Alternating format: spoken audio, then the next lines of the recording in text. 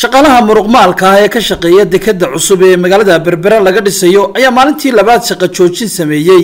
Kadib markii ay sheegeen inay ka cabanayaan kadib markii ay sheegeen inay weli taagan tahay cabashadii ay hore ugu gudbiyeen wasaaradda shaqada iyo shaqaalaha ee ahayd inay shaqaale muqaawili ka haystaan shaqooyinkii ay iyagu qaban karayeen. Waxaa kaloo ay sheegeen shaqaalahani in aanu fulin ballankii ay qaaday wasiiradda wasaaradda shaqada iyo arrimaha bulshada ee somalilan. Kaasi oo ahaa in meesha laga saari doono shaqaalaha ajaaniibta ah ee qabanaya shaqada ay muwaadinku qaban karo. Iyagoo arrimahaasi ka hadlayana waxay yidhaahdeen waxaanu ka cabanaynaa haddaanu nahay shaqaalaha gobolka saaxiil ee ka shaqeeya dekeda berbera wasiiraddu maalintii labaad ballanqaad bay samaysay waxay tidhi bisha bisha dhammaadkeeda ayaa saxiixa laga soo qaadayaa shirkadda mushaharkiina wixii uu yahayna laga soo qaadayaa wixii dawladdu ay soo saxeexday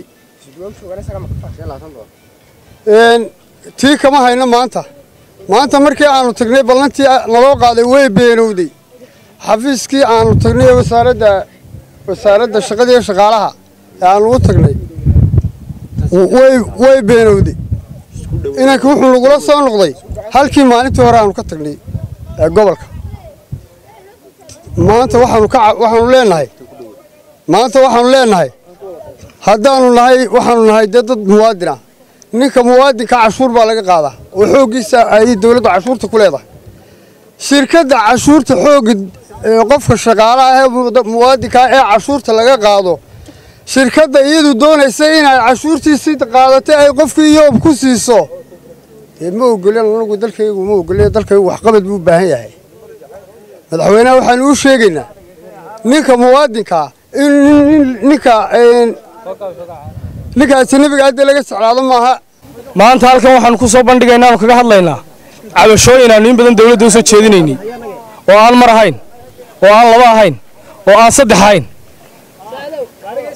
Waxaannu in badan ka hadlaynay inaannu helno xaqayaga iyo xuquuqdayada dad muwaadina baanu nahay.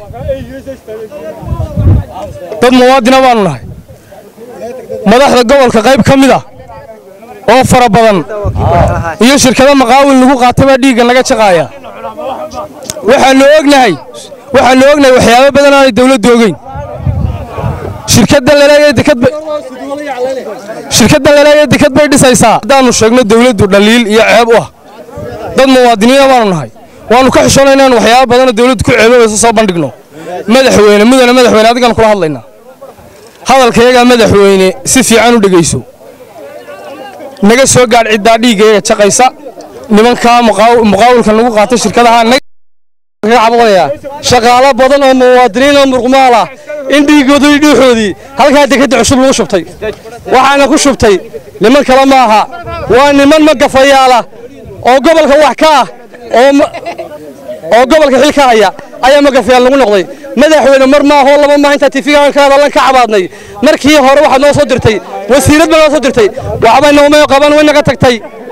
Soo waxaad gartay maaha mudan madaxweyne waxaan leeyahay meela yaro hindiyo ka yimid banjaab iyo maxeeda iyo delhi ayaa halkaa igu gumaysan anigoo reer berberaa wallaahi inaan ka dhexelay bilaahi tallaahi baan ku idhi maxamed cabdilaahi soo fadhiistay star t v magaalada berbera